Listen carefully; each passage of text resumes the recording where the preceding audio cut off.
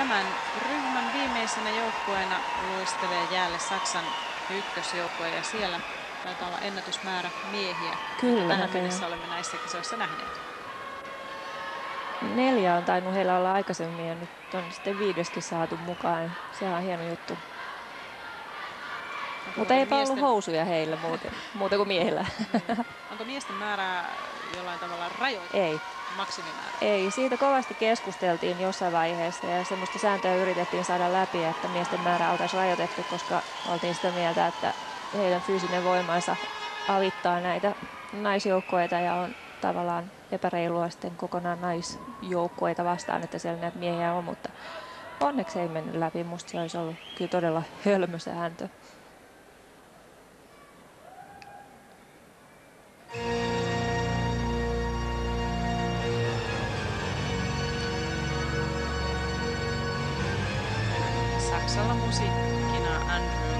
Repertory Phantom of the Opera, eli operakummitus.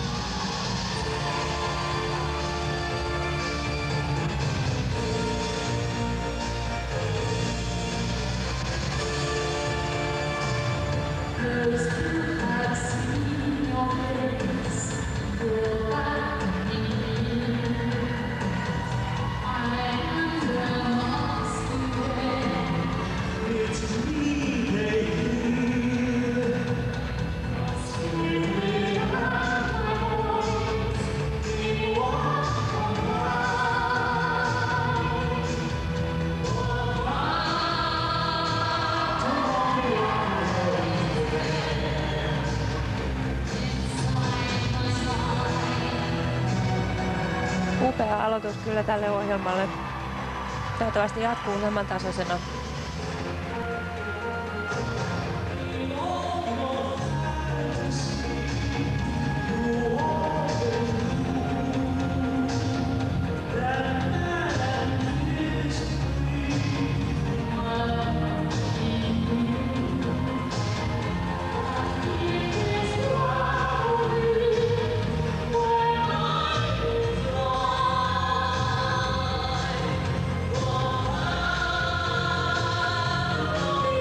Tasaisen varmasti kyllä tässä ohjelmassa nakutetaan noita elementtipisteitä.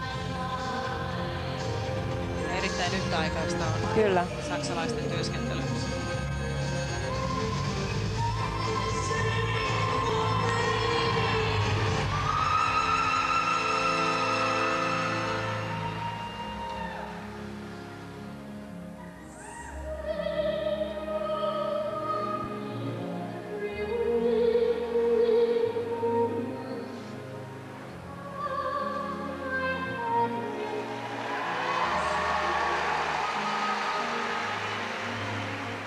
Se oli kyllä parhaita tänään nähtyjä piruetteja.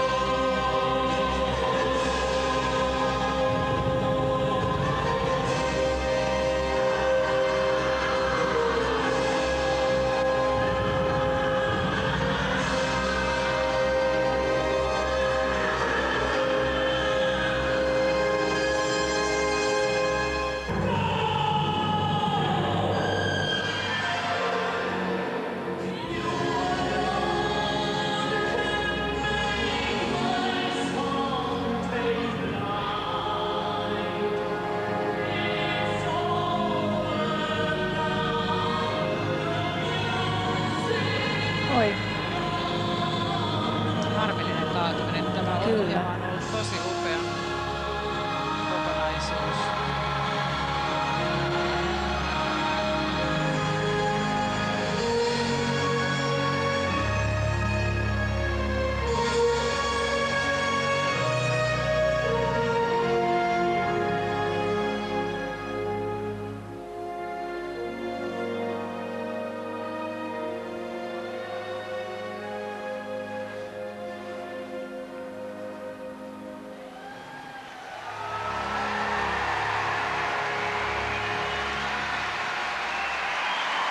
Wow. Mahtava, Se oli mahtava upea ohjelma. ohjelma. Saksa oli lyhyt ohjelman jälkeen kuudennella sijalla, eli kyllähän tässä puhutaan todellista huippujoukkueesta jo. Ja Kyllä. tämä oli huikea suoritus heiltä. Tämä oli aivan mieletön. Harmi, että siellä Todella. lopussa tuli niitä muutamia pieniä Se on virheitä. totta, mutta sanattomaksi kyllä jää. Ja kyllä siellä oli sääntökirjakin luettu, että niin kuin sanoin, niin näitä tekniikka-elementtipisteitä kyllä nakutettiin tasaiseen tahtiin sieltä, että nyt pitäisi kyllä näkyä teknisissä pisteissä aika roima ero sitten.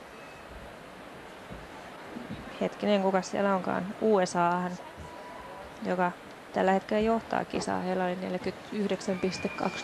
muistaakseni teknisistä. Tämä oli kyllä muodostelmaluistelua parhaimmillaan, voi sanoa jo tässä vaiheessa. Ja USAlla siellä tek- elementtipisteet 49,22 ja komponenttipisteet 52,52. Ja yhteensä USA sai vapaa-ohjelmasta 100,74 pistettä.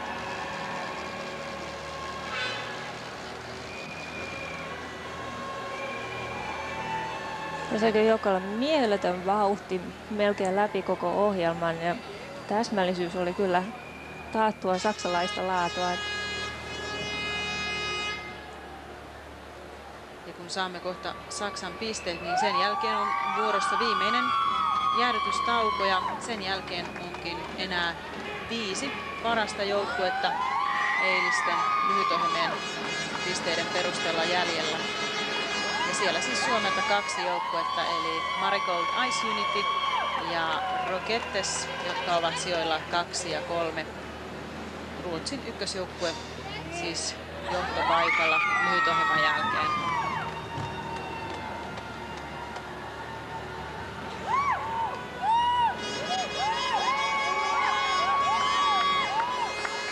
Ei voi muuta kuin ihastella näistä hidastuksistakaan.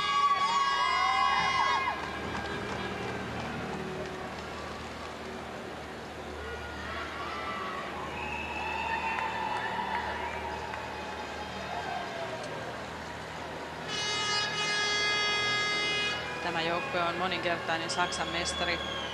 Hän on tuolta vuodesta 1996 lähtien. Harjoittelee Berliinissä. Ja sitten Saksan pisteet.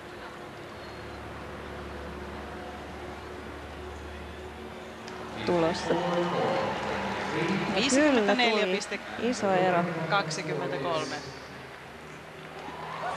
Ja komponenteista Loistavat 58,68. Joten yhteispisteet 111,91. Tällä pistemäärällä Saksa menee johtoon. Eli yhteensä 171,06. Tämä pistemäärä on hyvä painaa mieleen ennen kuin lähdemme seuraamaan tuota viimeistä ryhmää. Siellä siis vielä vuorossa Suomen kaksi joukkuetta, Ruotsin joukkue, Kanadan ykkösjoukkue ja USAn ykkösjoukkue, mutta tässä vaiheessa pidämme pienen tauon.